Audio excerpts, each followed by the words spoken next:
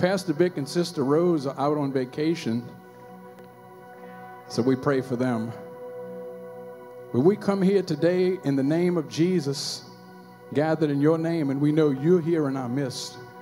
We put our trust, our confidence in you. We come here for the express purpose of meeting with you and with your people, but we want you, Lord, to have your way in our individual lives. We want you to have your way, Lord, in what we say and do, and be worshiped and be praised to the highest. So lead the worship team in the Word of God and everything said and done today through Jesus Christ. Amen.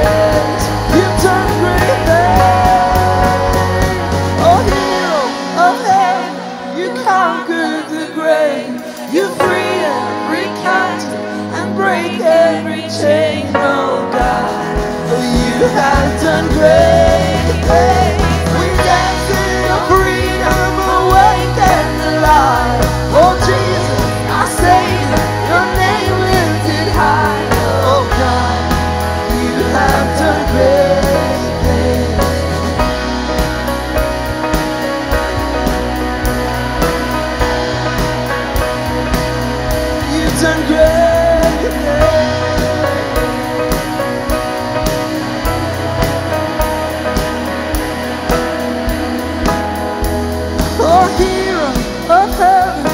You and reign. You free every captive and break every chain.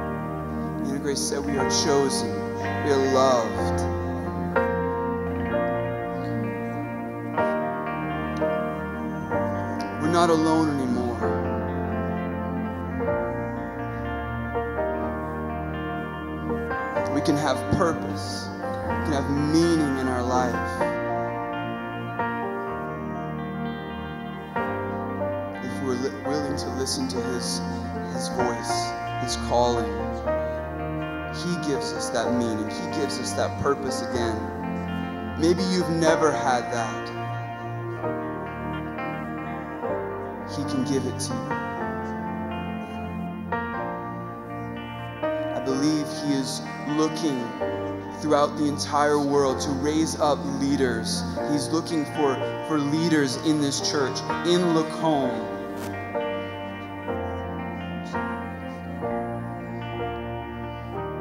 Be that person.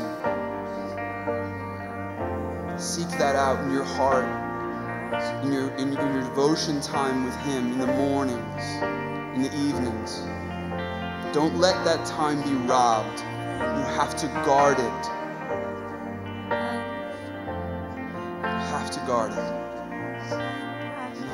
speak to you. He will. Believe that.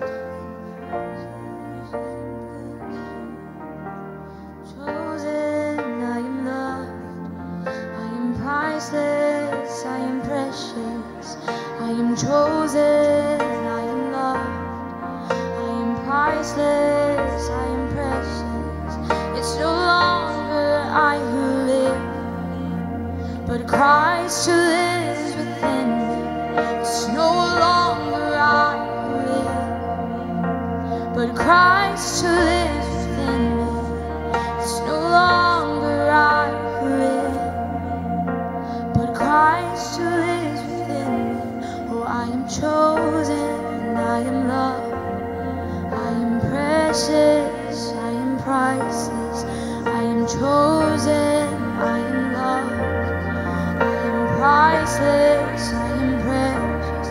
You are chosen, you are loved, and you are priceless, you are precious. Mm. And the power of God rests in you. Oh.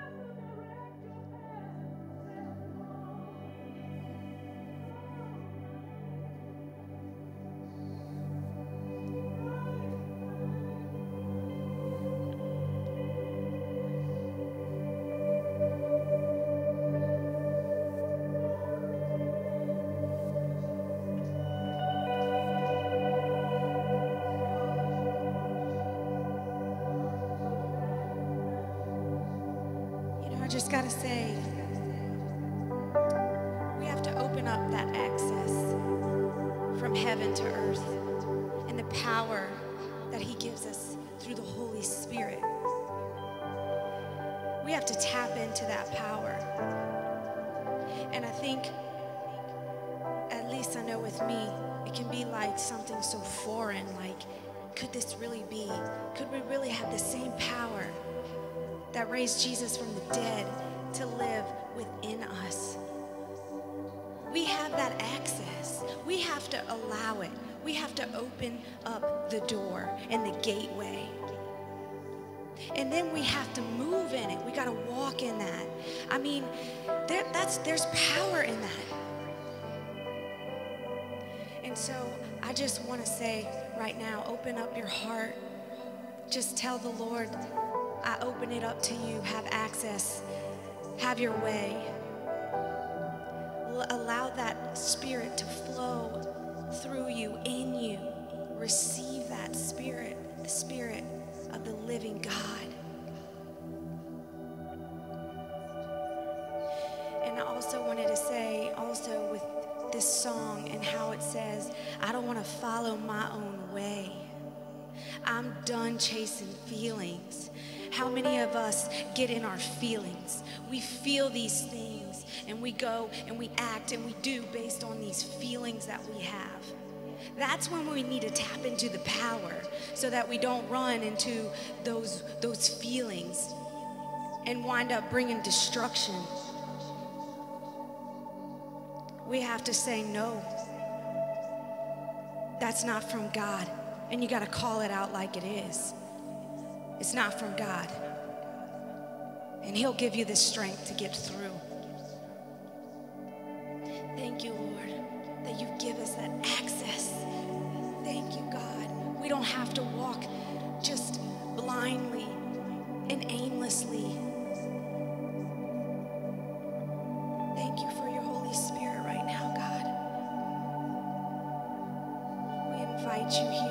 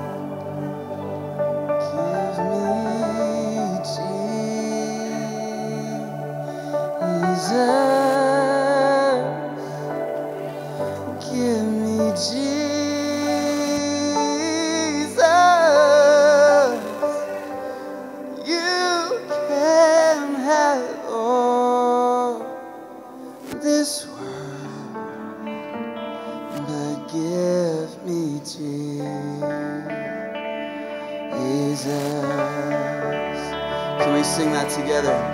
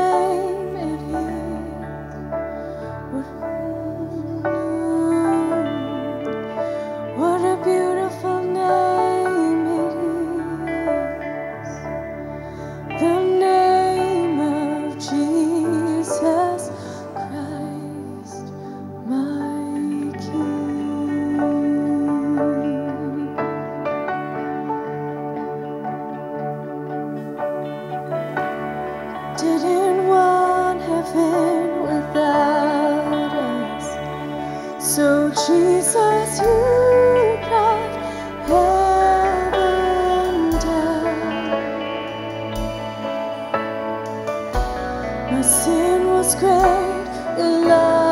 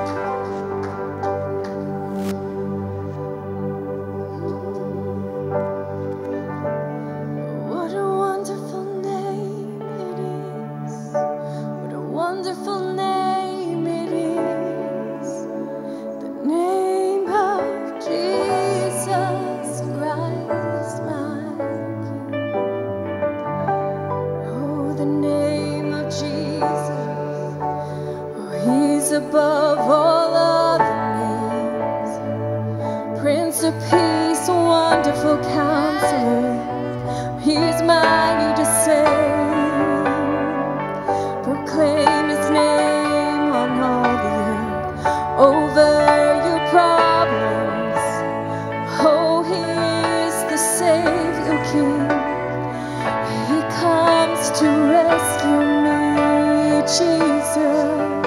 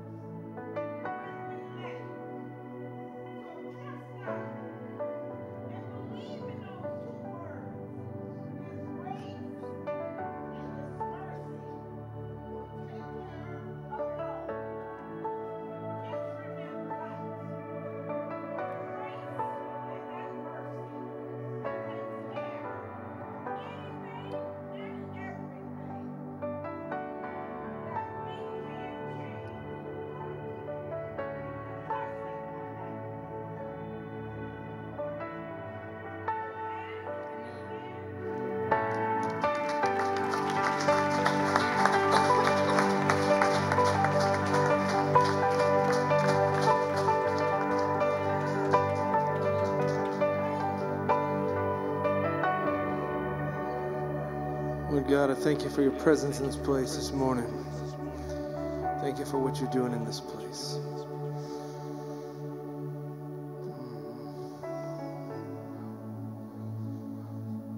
Hmm. There's peace in his presence, right? Man. Thank you, God, for your presence. Thank you, God, for this resting place, for this watering hole in a desert. Thank you that we can come in and be filled so that we could go out and bring your life and your love to this world. Thank you for filling us this morning. If we walk in empty, there's no reason to walk away empty. Be filled.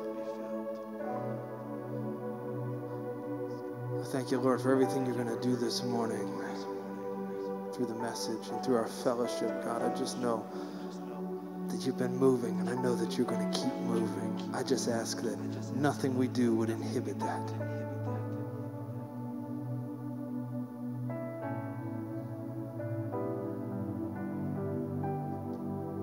We love you, Jesus. Amen. You may be seated.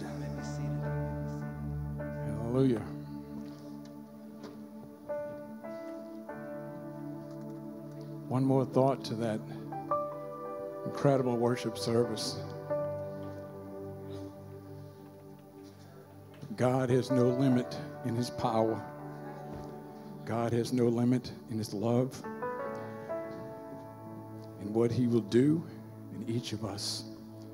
The only limit is what we put on him. So that really means that we have the greatest power source that ever was, ever will be at our disposal. We can just reach to him at any time, call on the name of Jesus at any time. And the enemy cannot overthrow us, he cannot even hinder us.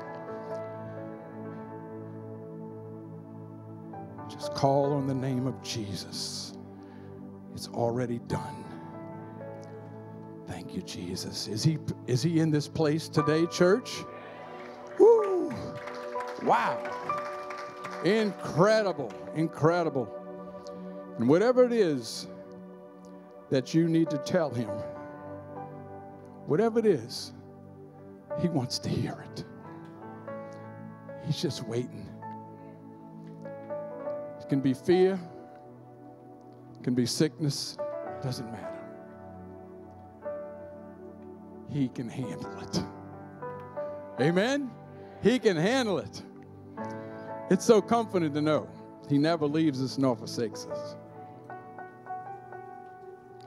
Well, let's go ahead and dismiss our children to their classes and say a blessing on them and the children and, and the teachers.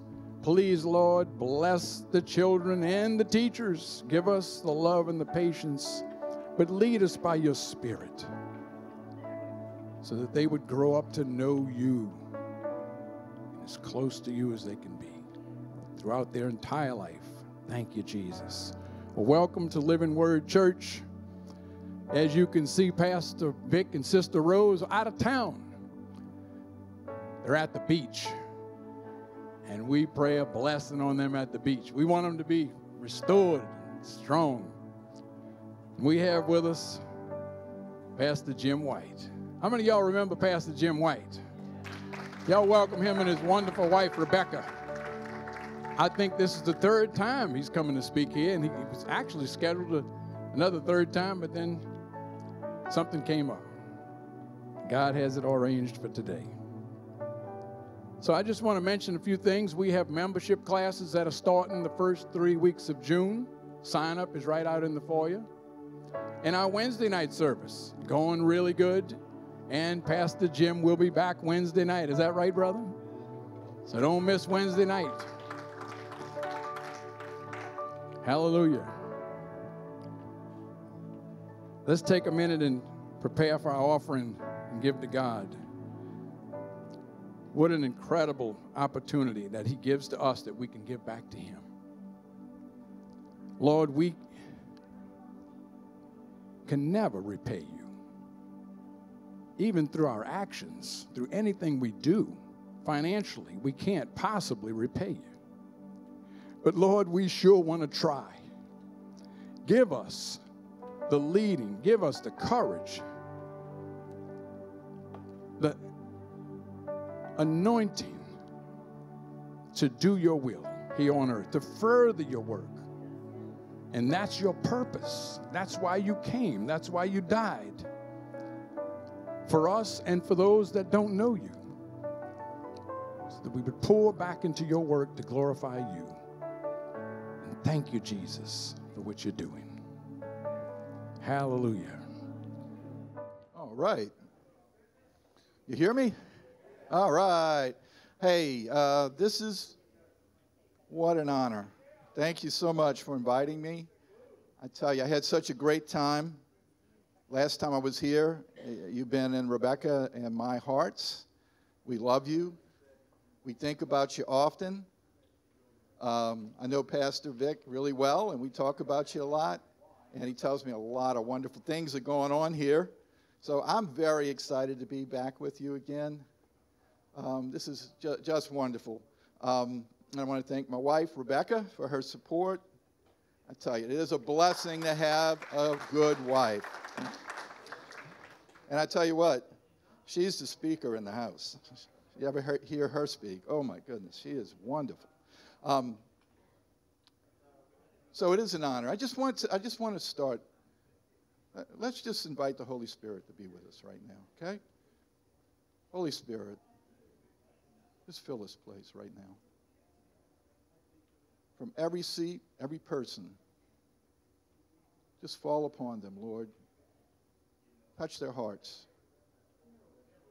Lord, just fall upon us. Anoint us all.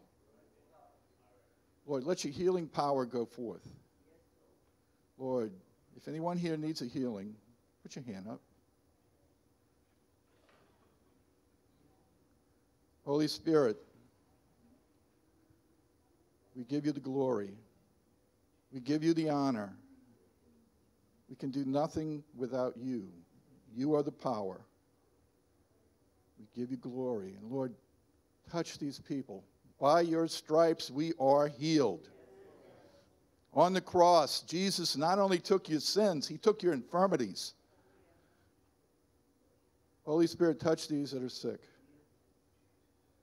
Lord, we beg you, please touch them, heal them.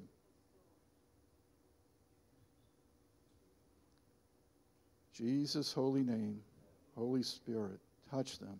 We claim your word. We just ask that you would make them whole as Jesus did when he walked the earth. He touched many and they were made well. So, Lord, make your people well. In Jesus' name. Also, any of you have relationship problems? Lord God, I pray right now that the Holy Spirit would move among, among you and that you would heal relationship issues, husbands and wives, children and parents, co workers. Lord, heal. Bring your love, bring your spirit of healing upon those relationships. Thank you, Lord. Thank you, Lord. So be with us as we share your word. We thank you so much for this opportunity. All right, I'm going to share on Luke 15, verse 1. Then all the tax collectors and the sinners drew near to him to hear him. And the Pharisees and scribes complained, saying, This man receives sinners and eats with them. So the Pharisees were complaining to Jesus, as they usually did. And they said, Something's wrong. you know, he's just with sinners, tax collectors. You know, they weren't happy with this. That's not the way they acted. But you see, Jesus is in the people business. The Pharisees weren't in the people business. Many years ago, say, I think it was around um, early 2000, Rebecca and I, we went to Disney World. I think I had a business conference. And we got the opportunity to bring our two little boys, Joshua and Christian. Christian was about five, Joshua was seven. Oh, you know how excited they were? Go to Disney World. Oh, it was a great time. Oh, we spent most of our time in Magic Kingdom. And, you know, they have the Peter Pan ride. Oh, we loved that. Dumbo, the flying elephant. It was great. Winnie the Pooh, you know, the spinning teacups, all that stuff. We had a great time. But Christian's favorite ride, he loved this ride. He wanted to ride it over and over and over. It was Goofy's Barn House. now, you know, back in the old days, uh, they used to have the pilots that they would put on shows, you know, and um, they'd fly through barns, you know, as part of the show. So they called them the Barnstormers. So uh, it was kind of on that theme. You know, it's a, flying thing, and then you wound up the uh, ride. It's a roller coaster. You go through a barn. Well, Christian loved it so much, we kept going on and on and on, you know. And then about the middle of the third time, Christian received the call of nature. Now, there's not a lot you can do in the middle of the roller coaster.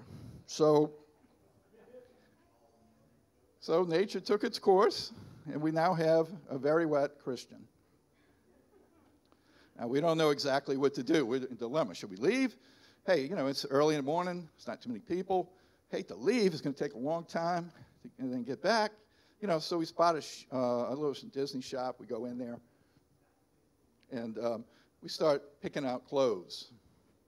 Now we're frantic because Disney clothes is not cheap, you know. So we need shorts, we need shirt, we need underwear, we need socks. So you know, just a few items. You know, we got hundred dollars worth of stuff. So we, what, what do we do? So we decide to buy it. The cash, uh, the clerk at the cash register, he saw our frantic state and saw we were a little disheveled, and he said, "What's wrong?" And we told him the story. And he said, Oh, Mickey just sent me a message on the cash register. He told me I should give you these clothes. Oh my goodness. I've never experienced anything like it. Disney's in the people business. Can I, you know, as a business consultant and a businessman, can you imagine that model where you give your people the opportunity to have compassion on someone? Yes, it's rare. It's rare that you experience that.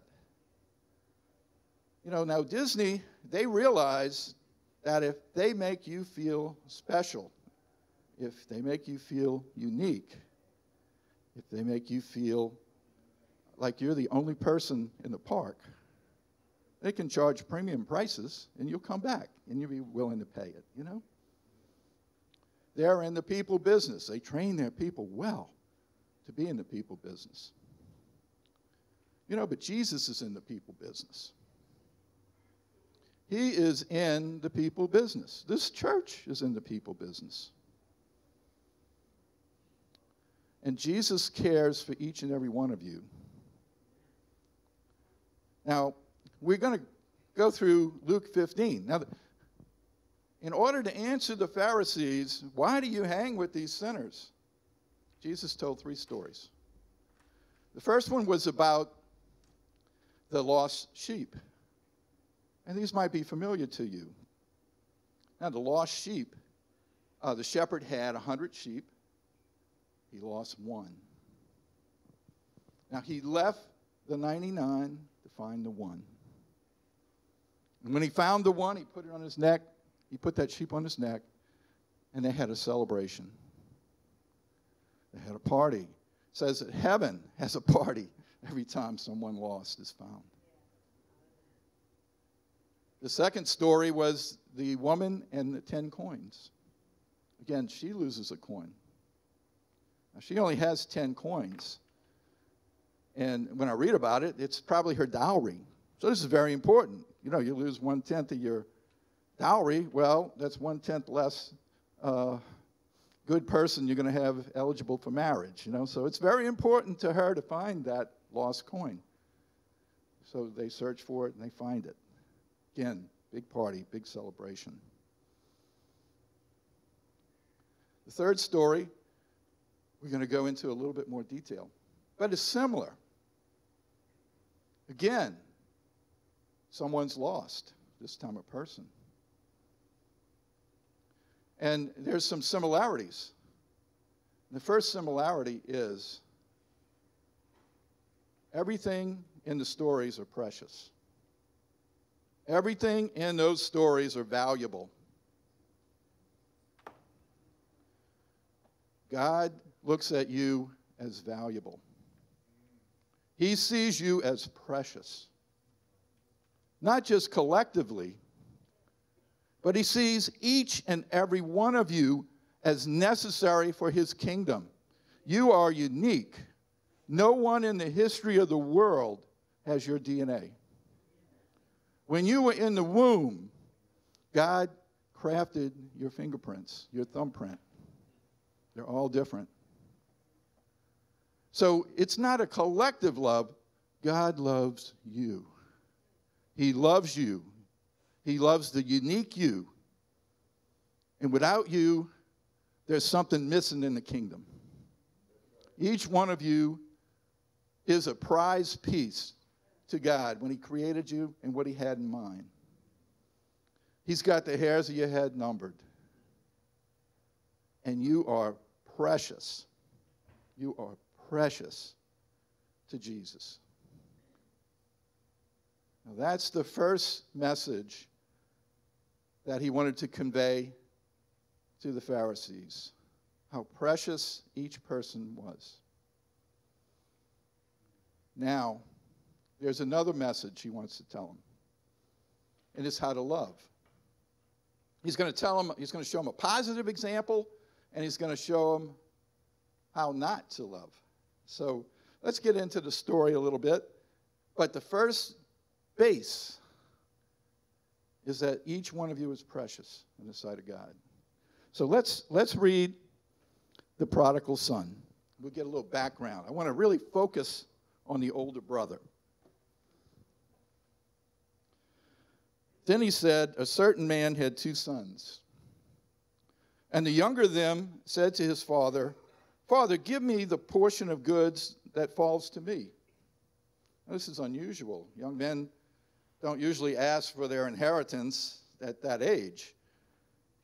The father grants it. So he divided to, and get this, and remember this word, them. He divided to them his livelihood.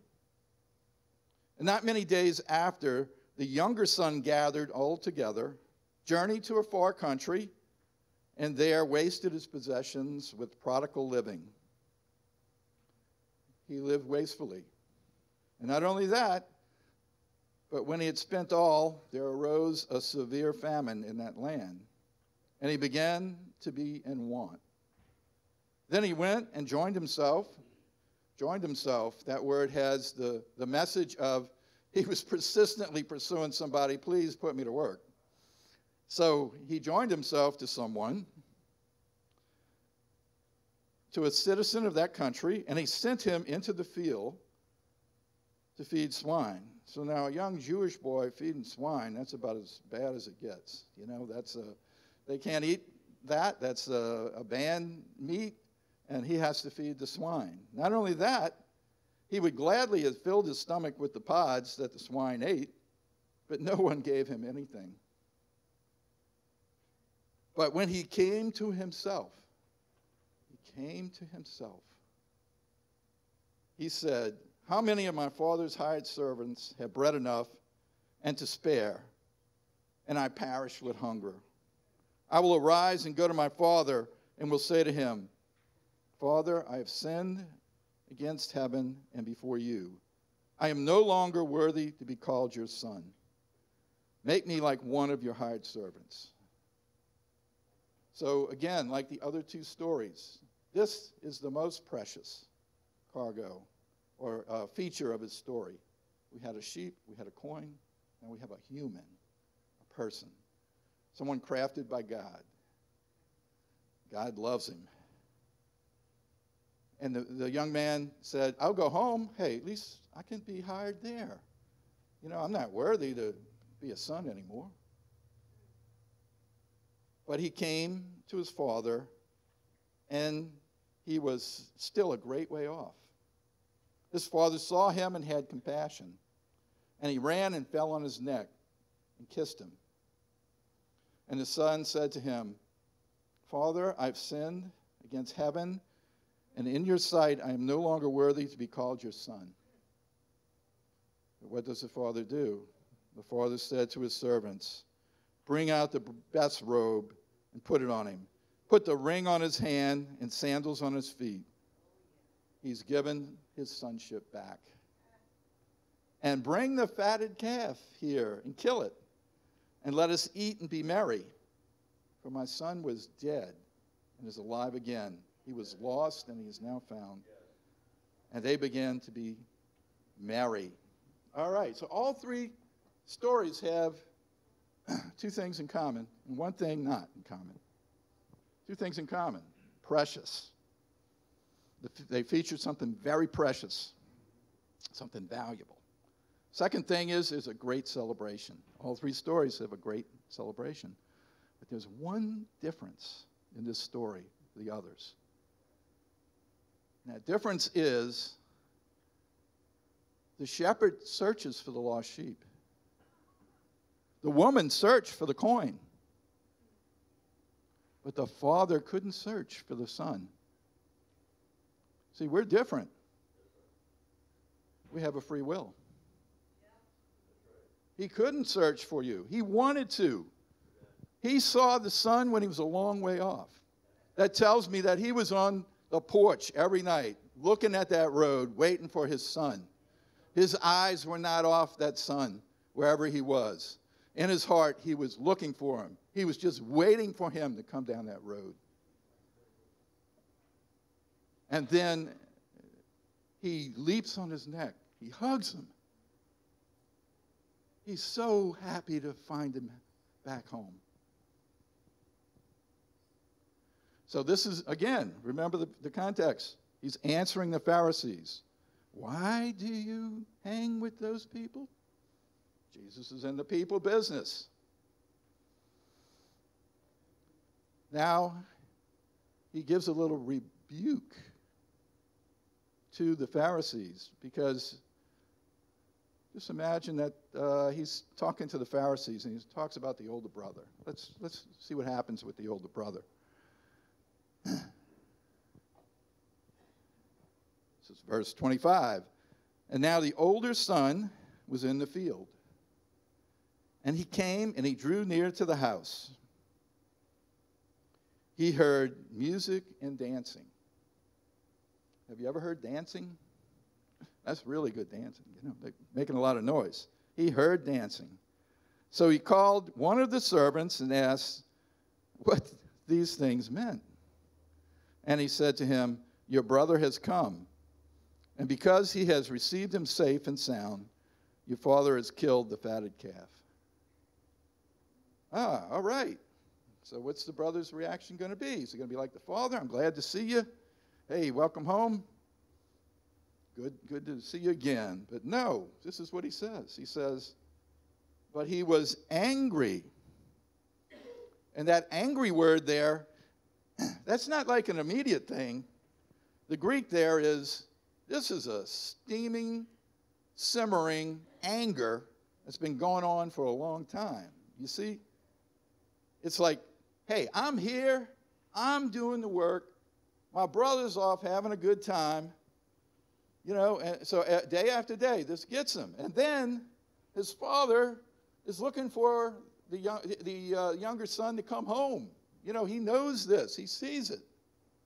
He can feel the father's pain as he wants that younger son to come home.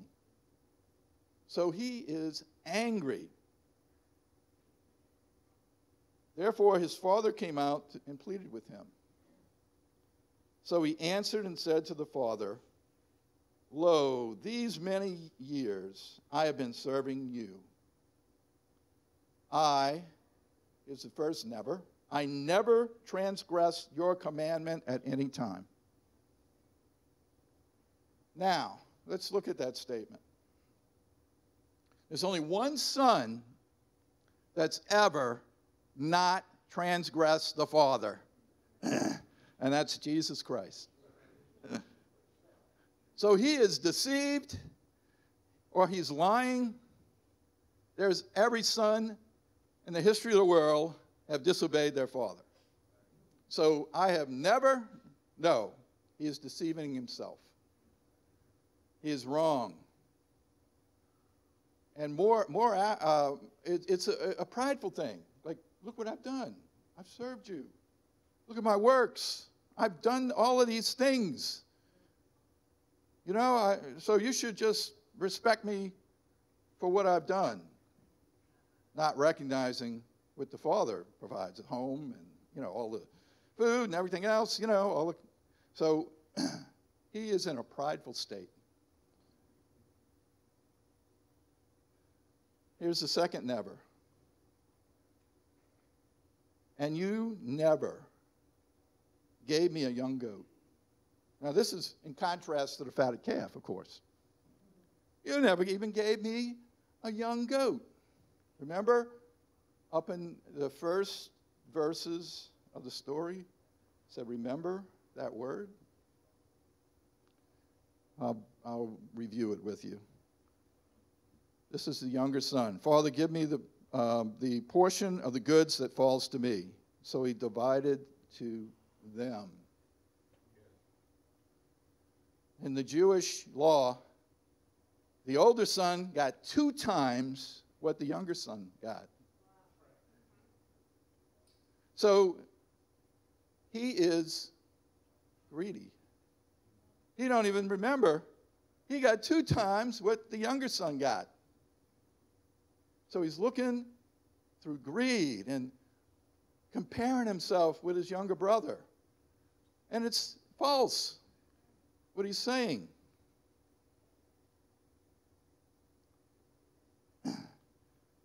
But as soon as that son of yours came, who has devoured your livelihood with harlots, you killed the fatted calf. So, no recognition that his brother who was dead is now alive, no celebration. He's now full of envy, jealousy, and he's selfish, looking at himself. I, I'd like to do an illustration, if you don't mind. I, I love this uh, scripture in comparison to Matthew 17 31, when Jesus also was talking to the Pharisees. I need, I need a volunteer.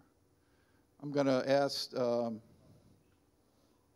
how about Dahl? I just learned your name. So can, why don't you come on up here for a second, if you don't mind? Help me out. Come on up. Yeah.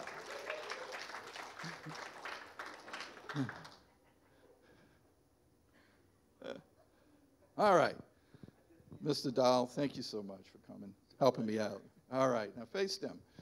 Now, you're going to be a balance scale. Oh, great. All right? So you would put your hands out. Put your hands out. All right. Now this is a balance scale. You kind of got me. You know, they, they hang things on this one. If this one goes down, that one goes up. All right. This one goes up. Okay. So that's where a balance scale works. All right. Now, Jesus said to the Pharisees, "Love your neighbor as yourself." All right. So this is what's going on here. Remember, we're in the people business. We have to be witnesses, we have to be people. All right. So the older son says, Turn your hand around. I'm going to put this in your hand. All right. He got more than me.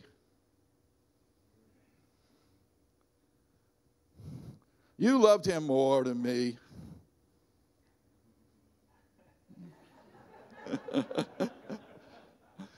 I'm better than him. There you go. Now, on the scale of love, where should he be? He should be balanced, right? We love others as ourselves. This is a position of pride. He's looking down on the other person. He's comparing himself with the other person. And this is the Pharisees. This is what the Pharisees were doing. They were the religious leaders. They were supposed to be helping people.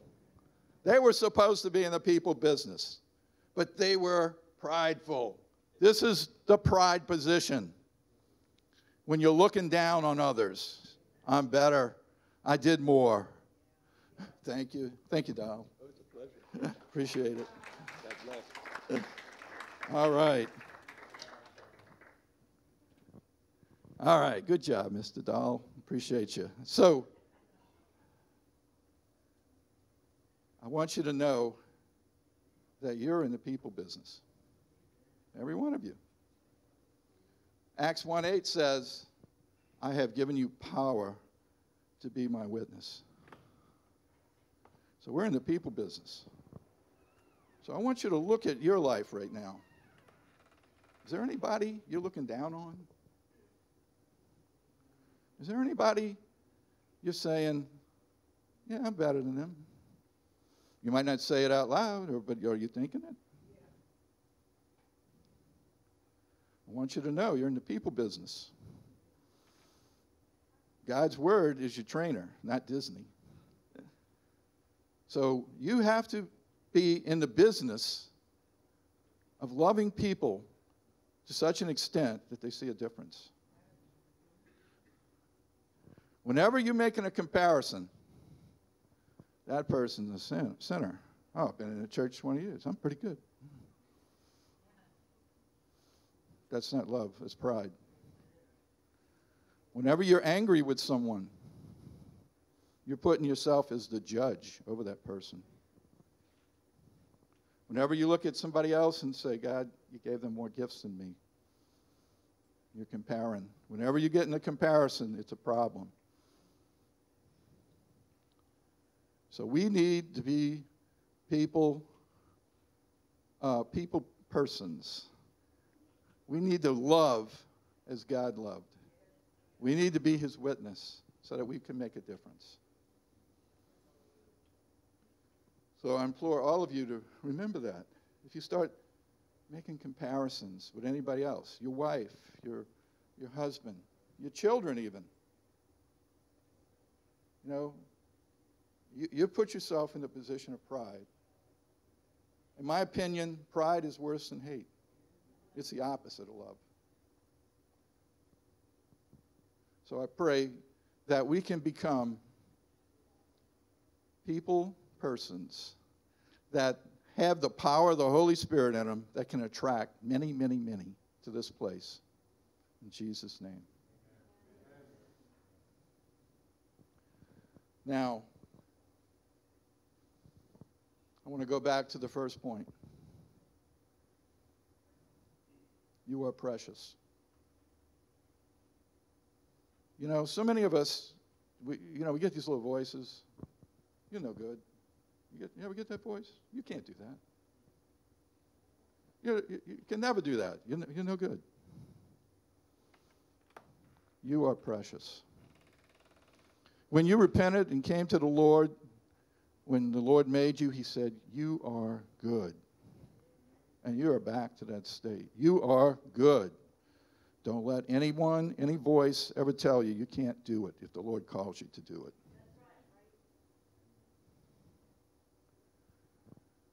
You are precious. Every one of you is needed in the plan of God. If any of you are away from home, when I say home, away from church, away from the relationship with Lord Jesus Christ, just think of that picture of the Father. He's on the porch. You are precious. He's hoping that you'd come home. He's pleading that you would come home. If any of you need to come home, I'm going to ask right now that you just slip up your hand. If there's anyone that feels the Holy Spirit tugging on their heart to come home, Please don't disappoint them. The Father's looking at you. You are unique. You're needed. All right. I'll assume that all of you are home. Hallelujah for that. That's big. All right. Well, the last, let's complete. We did the whole chapter 15 of Luke. You know that? Let's, let's complete it. There's one more sentence. This is how the father answered the older son. And he said to him, Son, you are always with me, and all that I have is yours. And that's what we have, every one of us. We're home. You have the presence, and you have the provision of God. So, with that, you come into play. I'll pray. I'm finished. And I'm ahead of time. It's not 11:30, so I'm Yes. Nailed it. Thank you so much. I appreciate you. You're so kind to me and, and Rebecca. We appreciate we appreciate you so much. It, it, it truly was an honor to uh, share God's word. So I just pray that the Holy Spirit just settles with each one of you, that you have his presence right now, the whole week. The presence of God will fill you with that. And that the word will settle in your heart. Holy Spirit, enlighten that that's important to each individual here in your word. We are precious. We are unique in your eyes. Lord, reveal how much you love each one here. And Lord, change hearts. Teach us to love better. Teach us to love like you loved, unselfishly. Lord, pour your love in the hearts of all these people. And give them the power of the Holy Spirit that they can be your witness to those who are away from home, those who are not home, those that the Father is just yearning. Come home. Come home. Lord, give us the, the courage, the power, the words to speak to those people. Invite them home. Lord, protect everyone and their family. Holy Spirit, protect them, be with them. Give them your wisdom and your knowledge as they go forth this week to confront all the issues of the day. Lord, you're our shield. You're our protector. So protect everyone here and their families from all harm, from the evil one. Lord, you're our provider.